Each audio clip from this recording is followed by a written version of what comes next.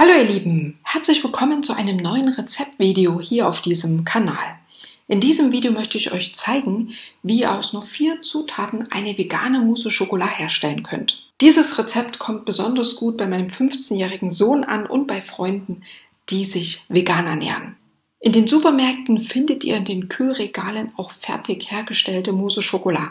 Die Zutatenliste dafür habe ich nicht im Kopf, aber ich schätze mal, dass die Hersteller nicht mit vier Zutaten auskommen werden. Es gibt auch ein Pulver für Mousse Schokolade, da muss man wahrscheinlich noch Milch oder Sahne hinzufügen von einem gewissen Doktor. Den Namen lasse ich jetzt mal weg und ich möchte euch jetzt mal die Zutatenliste vorlesen. Zucker, fettarmes Kakaopulver, Schokolade. Diese Schokolade besteht wiederum aus Zucker, Kakaomasse, fettarmes Kakaopulver, Kakaobutter, Emulgator, Lecithine. Weiterhin Glukosesirup, Palmfett, Gelatine, Emulgatoren wie E472a und E471, modifizierte Stärke, Geliermittel, Karagen, Milcheiweiß und Salz. Ihr seht, das sind eine Menge Zusatzstoffe und ich schätze mal, dass es bei der Mousse Schokolade aus dem Kühlregal ähnlich aussieht. Als erstes seht ihr die vier Zutaten, die ich für diese einfache und vegane Mousse Schokolade verwende und wie ich sie herstelle. Das sind die wenigen Zutaten für eine selbstgemachte vegane Mousse Schokolade. Wir benötigen dazu 400 Gramm Seidentofu, etwas Vanillepulver, ca. 150 Gramm vegane Schokolade. Ich verwende eine Schokolade aus dem Bioladen mit 70% Kakaoanteil, es gibt auch vegane Schokoladen mit einem geringeren Kakaoanteil, die sind ein bisschen süßer. Da kann man eventuell dann das Süßungsmittel weglassen. Ich verwende als Süßungsmittel Jakonsirup und der zeichnet sich dadurch aus, dass er einen angenehmen milden Geschmack hat und vor allem einen niedrigen glykämischen Index. Von diesem Süßungsmittel verwende ich etwa ein bis zwei Esslöffel. Und von der Schokolade verwende ich ca. 150 Gramm, also eine ganze Tafel und nochmal die Hälfte einer Tafel. Die Schokolade breche ich in kleine Stücke und erwärme sie in einem Wasserbad, sodass sie schmilzt. Hier auf dem Herd befindet sich ein mittlerer Topf, den habe ich zur Hälfte mit schon warmem Wasser gefüllt und dann diese Schüssel mit den Schokoladenstücken hineingestellt. Dann drehe ich jetzt den Herd etwas hoch und lasse das jetzt ganz langsam schmelzen. In der Zwischenzeit lasse ich den Seidentofu abtropfen. Der ist ja noch ein bisschen in der Flüssigkeit in der Packung. Das lasse ich jetzt abtropfen, solange die Schokolade schmilzt. Ich habe jetzt drei der vier Zutaten in diesen Mixbecher gegeben. Den Seidentofu, das Vanillepulver und den Jakonsirup.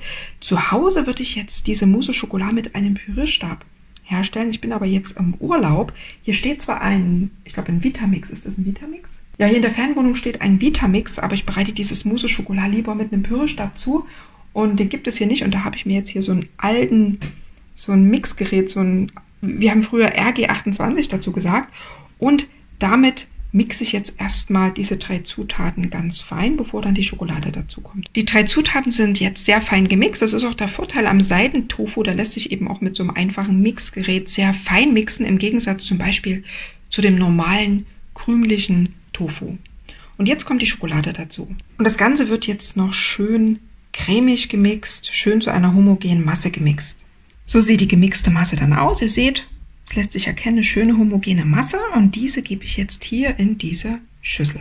Diese Mousse Schokolade hat jetzt noch so einen Pudding-Charakter und deswegen stelle ich jetzt diese Schüssel in den Kühlschrank und lasse das Ganze schön durchkühlen. Da verändert sich auch noch mal ein bisschen die Struktur, weil ja auch die Schokolade dann wieder etwas fester wird, beziehungsweise dazu beiträgt, dass es dann mehr so einen Mousse-Schokolade-Charakter hat. Die Mousse Schokolade war jetzt circa fünf Stunden im Kühlschrank und mindestens zwei Stunden davon im Tiefkühlfach. Also allerdings war dieses nicht sehr hoch eingestellt. Also hatte eine relativ milde Temperatur. Und ich will euch mal zeigen, wie so diese Konsistenz ist. Also jetzt nicht mehr so Pudding, hatte keine Pudding-Konsistenz mehr, sondern schon eine bisschen, sage ich mal, andere Konsistenz. So sieht eine Portion Mousse Schokolade aus. Ihr könnt dann mit zwei großen Esslöffeln so eine Art Nocken rausstechen aus dieser Mousse Schokolade und das dann hier so auf einen Teller geben. Wir haben dann noch geraspelte Schokolade darüber gegeben und mit Pfefferminzblättern dekoriert.